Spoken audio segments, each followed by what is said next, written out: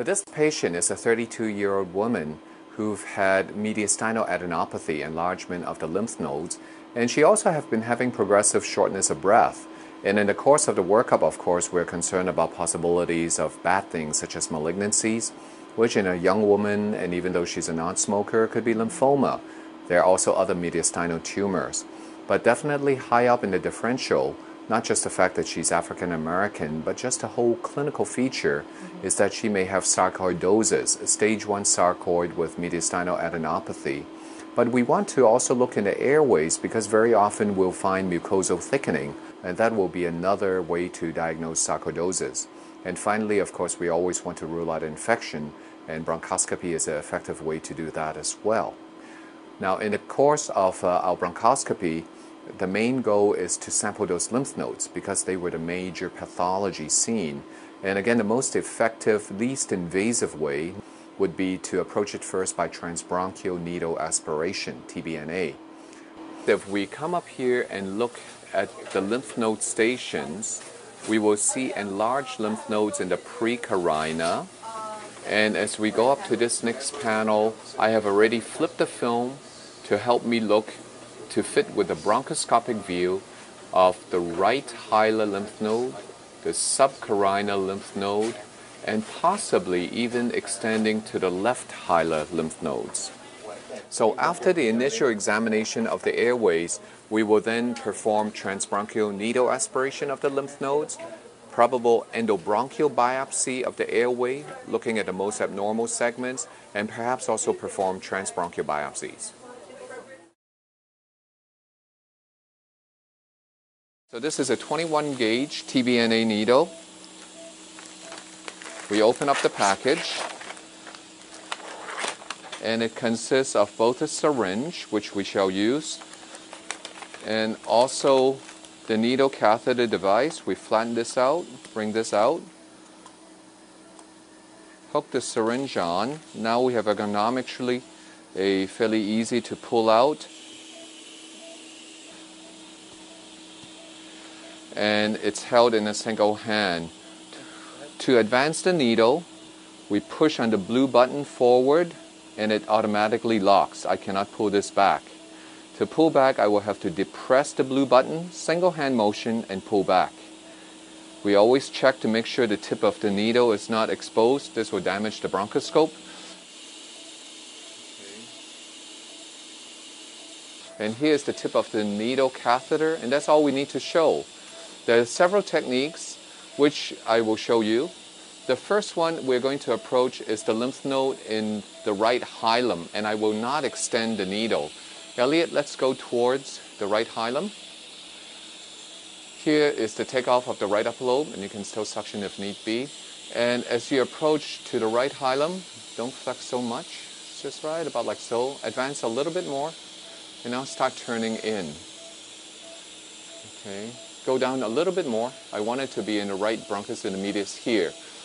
And as Elliot flexes up, I push my needle out so it's anchored into the mucosa. Now, Elliot, go forward. Don't let the catheter come out too far. Are you flexed? flexed. Okay, and advance on three together. Go ahead. You call it. One, two, three. And we see the needle going through. Now, it could be a little more 90 degrees, which we will do in the next time. And here I will be pushing the needle in and out of the mucosa. And you can see it coming in and out of the mucosa. So far, no hemorrhage. And when you push the catheter far out enough, you see if you're in heme.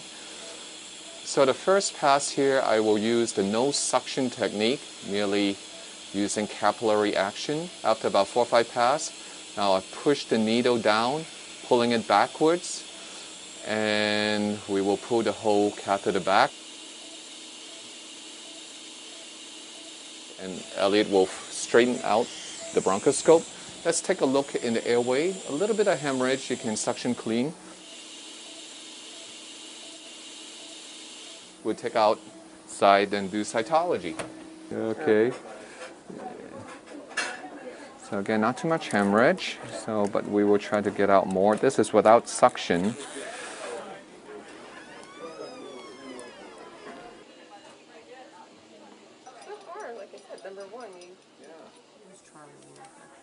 Yes. I don't think I worked with you so far this week. Just We will go back with a, a different needle. It's helpful to get a core biopsy, and hence we use a somewhat larger gauge needle catheter. This is a 19 gauge, but the rest of the setup is essentially identical. So this one we'll do a somewhat different approach. Come back even a touch more, Elliot. I will bring out the needle first. Very often I find this to actually be a little more challenging in an awake patient, but with the benefit of anesthesia, of course, there's very little movement. This is ideal. Now go up towards the precarina, 12 o'clock. Start flexing up. Now you really have to turn towards, come back a little bit. Now start flexing up. Flex up a little more. Yes, there, okay? And on three, maximally flexed. We'll go forward, right. One, two, three. advance. Now, suction. So, in fact, she coughed us into it. As you can tell, suction. Keep the airway clean. And again, I'm doing it without any suctioning. Sometimes when we do it without suctioning, I feel we can maybe get a better sample with less trauma. And now I'll break suction by pulling this back. Straighten out the bronchoscope, please. We always check to make sure the tip of the needle is not exposed. This will damage the bronchoscope. On three, come back and again straighten out your scope.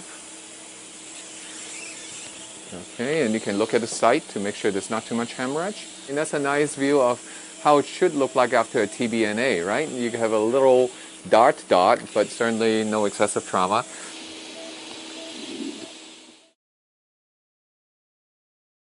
The details of this particular case went pretty smoothly. We first used a 21 gauge needle, went into the right hilar lymph node, and the first pass actually showed not just some bronchial cells, almost always present, but also lymphocytes and some granuloma like cells, which would be pathognomonic of sarcoidosis but also infection. So we made sure we saved some specimen and sent it off for infectious workup, primarily to look for fungal infections or mycobacterial infections. Traditionally, the gold standard would have been to perform a mediastinoscopy, but that obviously is a more invasive procedure, requires general anesthesia, and can, you know, for ladies especially, it would require making a cut up towards the neck, and cosmetically it could be an issue. So overall, we just feel that TBNA, if it gives us an answer, is a much less invasive approach. Depending on the circumstance, but in the case of a benign condition such as sarcoidosis, where it does not make too much of a difference which lymph node we approach first, I would go to the largest lymph node, most easily accessible, and also one that I think would cause less complications. Now, on the other hand, if I'm concerned about a lung cancer, I would then approach the highest potential stage, which in this case would be the one most central in the precarina, so called N2, and then go distally to the N1. In summary, overall, there are many different uses for transbronchial needle aspiration or endobronchial needle aspiration.